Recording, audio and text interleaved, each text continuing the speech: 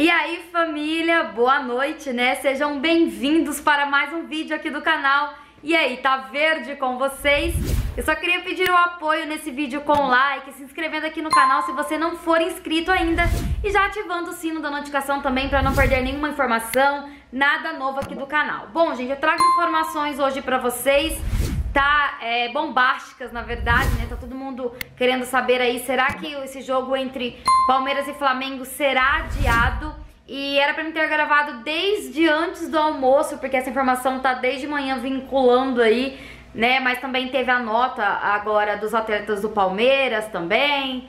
E eu não consegui um tempinho para gravar, só consegui agora, gente. Então eu vim correndo aqui pra trazer informação pra vocês, porque aqui não interessa a hora, né? Antes de prosseguir com a informação, eu tenho um recadinho que vocês vão gostar demais e eu já volto aqui para trazer essa informação quentíssima para vocês, belezinha? Bom, tão ligado que a situação tá difícil para todo mundo, né? Mas você pode ganhar muito dinheiro sem sair de casa e eu vou te explicar. Binomo é uma plataforma de negociações online e funciona de uma maneira muito simples. Se você acertar a tendência do gráfico, você vai ganhar mais de 90% em cima do valor investido. E sabe qual a maior vantagem de tudo isso? Você não precisa depositar logo de cara. A Binomo, ela te dá uma conta demo para você testar e aprender a usar. E aí quando você se sentir confiante, que tá belezinha, é só fazer o primeiro depósito e pronto, é só começar a investir. Mas não ache que parou por aí. Usando o cupom de desconto que está aparecendo aqui na tela e o link que eu vou deixar aqui embaixo na descrição, o seu valor de depósito vai dobrar. Isso mesmo, você não escutou errado. Assim você terá acesso ao suporte da Binomo e ainda pode baixar o aplicativo no seu celular para você não perder nada e acompanhar todos os seus investimentos. Então é só clicar no link que eu vou deixar aqui na descrição e boa sorte. Bom, gente, voltei e vamos falar aí então dessa polêmica envolvendo o jogo de domingo entre Flamengo e Palmeiras pelo brasileiro. O que acontece, gente? Não sei quantos atletas, eu acho que alguns dizem que é mais de 20 atletas do Flamengo, né? Entre não só atletas, mas entre comissão técnica, é, as pessoas que envolvem o Flamengo que foram aí contaminadas pelo Covid, tá?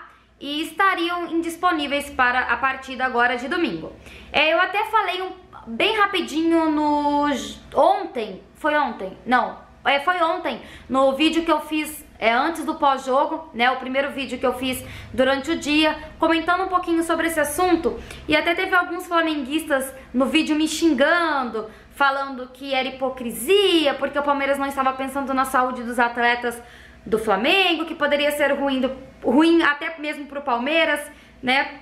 Porque o Palmeiras poderia, alguns jogadores do Palmeiras poderiam estar sendo contaminados também, e foi aí que eu respondi. Mas por que, que os atletas do Palmeiras estariam sendo contaminados se os atletas que estão contaminados não vão pro jogo? Ninguém que está contaminado vai pro jogo, né? E com certeza vai rolar testes também antes dessa partida aí de domingo. Aí o que acontece, gente? O sindicato também de São Paulo é, fa falou, né? Soltou uma, emitiu uma nota aí é, falando pelo Palmeiras, pelos atletas do Palmeiras, que mandaria que, é, que mandaria uma cartilha para a CBF porque não poderia ter esse jogo, que, que era para anular esse jogo. E os jogadores do Palmeiras aí soltaram uma nota dizendo que o sindicato não pode falar por eles, que eles irão a campo no domingo, eles irão jogar, até porque o Palmeiras está seguindo todos os protocolos.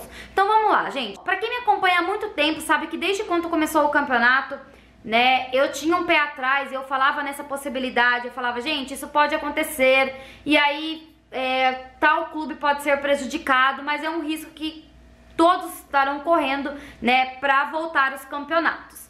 E aí, né, todo mundo aceitou, inclusive o Flamengo foi o clube que mais que mais quis, foi o primeiro clube a voltar a, voltar a treinar sem autorização, é o clube que que quer que tá batendo de frente aí para voltar com torcida, inclusive parece que as autoridades lá do Rio de Janeiro já até liberou para que voltasse, parece que 30% lá no Rio, né, pros, pros jogos, pro, pros times de lá.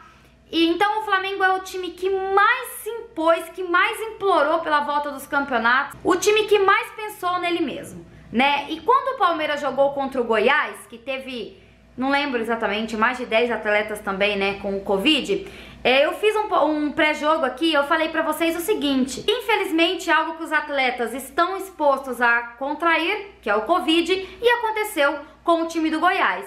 Mas, infelizmente, eles terão que arrumar jogadores e terão que jogar contra o Palmeiras. Na verdade, a CBF impôs algumas regras e tudo mais. E eu falei, até citei, falei que um dia poderia estar acontecendo com o Palmeiras. E que se acontecesse com o Palmeiras, o Palmeiras ia ter que se virar, colocar o roupeiro, colocar, é, a, contratar um, um torcedor para jogar aí. Infelizmente ia ter que colocar jogadores para não é, acontecer de dar WO, entendeu? Eu sei que a saúde dos atletas importam e eu falava isso desde o começo antes de voltar os jogos. Mas quem quis adiantar, quem, quem quis voltar com os campeonatos rápido não foi a Cássia, não foi a Cássia que fez um vídeo aqui e falou: ó, oh, gente, semana que vem tá começando os campeonatos porque eu tenho poder sobre isso. Não entendeu? Desde quando voltou, a gente sabia dos riscos que poderiam acontecer. Agora, o Palmeiras não tem nada a ver com isso. A culpa não é do Palmeiras. O Palmeiras vai em campo porque o Palmeiras está seguindo todos os protocolos. Agora, é, não é por conta disso também que, nossa, porque é por conta. O Palmeiras está querendo isso porque o Palmeiras quer é, ganhar do Flamengo, levar vantagem sobre isso, não, porque o Flamengo pode vir muito bem com o sub-15, sub-20 e ganhar do, do Palmeiras. Assim como o Goiás veio jogar contra o Palmeiras e né, empatou, né? O Palmeiras conseguiu levar o empate que eu falo até hoje desse jogo aí, que foi pontos importantes que a gente perdeu, e pode acontecer a mesma coisa, o Flamengo vir e jogar de igual para igual. Agora vem Galvão falar que o Palmeiras não tá pensando nos atletas, que o Palmeiras é não sei o que, agora a culpa é do Palmeiras. Quando era o Goiás, eu não vi ninguém, ninguém, ninguém da imprensa reclamando e pedindo para que o jogo fosse anulado. Né? Quando o Flamengo jogou contra o Atlético lá também, que os, que os jogadores do Atlético estavam com o Covid, eu não vi ninguém se mobilizando para que o jogo não acontecesse. Agora, porque é o Flamengo, queridinho por todos, Pronto, esse jogo tem que ser adiado. Me desculpem, gente. Eu sei que tem flamenguistas que me acompanham aqui, mas o que é justo é justo. Isso tem uma coisa que eu não aceito nessa vida é injustiça. Se um dia isso acontecer com o Palmeiras, podem ficar tranquilos que a Cássia aqui não vai pedir adiamento de jogos e espero que aconteça a mesma coisa. O Flamengo vai ter que se virar. Se eles ganharem dentro de campo do Palmeiras, beleza. Sorte deles, entendeu? Eles vão jogar de igual para igual e acabou. O que não pode acontecer é um adiamento de uma partida, porque se abre. É, se, se isso acontece para o Flamengo, os outros times vão querer também, e é justo que isso aconteça, então para o campeonato e volta, sei lá, só quando tiver solucionado o problema aí de Covid e não existir mais nenhum caso, entendeu? Caso isso não aconteça, vai ter que continuar é, dessa forma, porque o que vale para um vale para todos, né, gente? Eu queria saber a opinião de vocês porque é um assunto muito polêmico. Eu ainda não duvido que aí nos últimos minutos possa acontecer alguma coisa para que essa partida não aconteça. Isso daí não me surpreenderia em nada. Mas até então, até a última informação que nós temos é que esse jogo vai ocorrer tá? Eu queria saber a opinião de vocês aqui nos comentários, deixa aqui que é sempre muito importante. É, o assunto mesmo era esse, essa polêmica aí que tá acontecendo. A gente se vê durante a semana com mais informações do Palmeiras, até me desculpe o horário, não sou acostumada a, gravar, a postar vídeo esse horário, mas é o único tempo que eu tive aqui pra gravar pra vocês, belezinha, gente? Então a gente se vê aí durante a, a semana com mais informação do Palmeiras. Até o próximo vídeo e avante palestra!